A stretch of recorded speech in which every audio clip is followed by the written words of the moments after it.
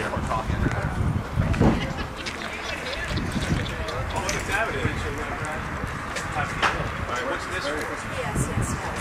Hello, everybody! We are live in Lynnwood. Harris Ford Lincoln in Lynnwood for Rock Out Hunger. You got to come down. We have lots of tickets to give people. As long as you bring one grocery bag of non-perishable food, we're going to hook you up with a ticket to see the Uproar Festival. Who are you guys most excited to see at the Uproar Festival? I'm about to say Shinedown. Shine down. He's tailgating. This is awesome. this is We're waiting for six o'clock to. Uh, Yeah, well, you and me both, actually. 99.9 KISW, The Rock of Seattle.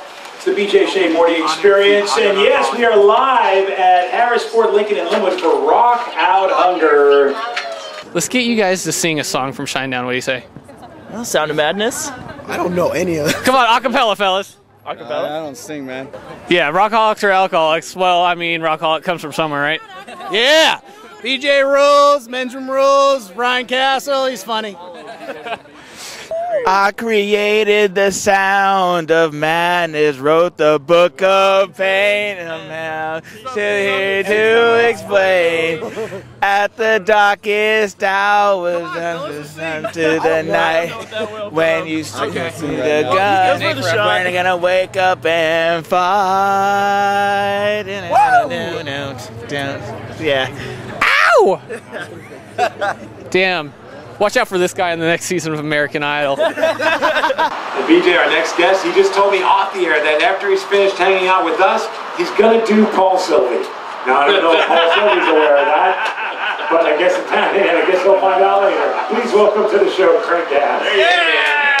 Listen, I'm, I'm going to do uh, some television. Uh, I got my uh, uh, nice clothes on. You too. I was going to say, man, you get your nice clothes on and you get your Mariners cap, which I'm saying, you know, and now I get it. You're going, you're going to go hang out with Paul Sylvie. That makes some sense. Looks like we got a little sleepyhead up here.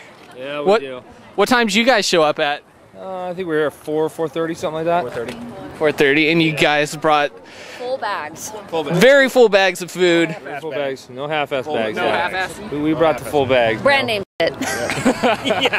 You guys take your sack seriously. Yes, yes, we do. We, I definitely take my sack seriously. So do I.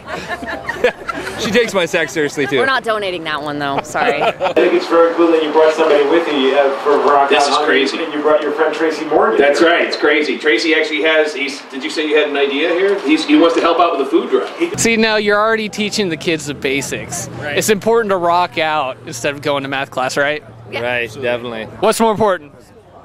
Rocking out. Rock. All right. That boy, rock out. Let, let's let's put a little oomph behind it. What's more important? Rock it out. Rock. Sound, sound like Rock! Paul Stanley. Can't come on. do that. I can't do that. All right. Well, we got. Everybody, do it. Peer pressure. Come on, just do it. Let's all do it on three. Ready? One, two, three. Rock!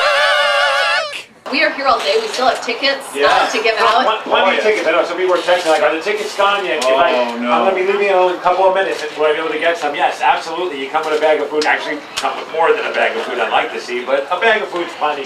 Uh, and uh, you'll get hooked up with a ticket to the Uproar Festival. Dude, put it up. Put up the horns. Put up the horns. Put them up.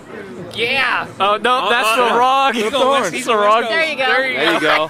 oh, is he throwing up West Coast? No, he was throwing up uh, something else that's a little shocking. No, no. Yeah, he knows that one too. Oh, He knows a lot of stuff. It's we got parents of the year teaching their kids to shocker out here. Oh, was he doing up the shocker? No filters. Oh man, you don't throw up the shocker, not in front of people.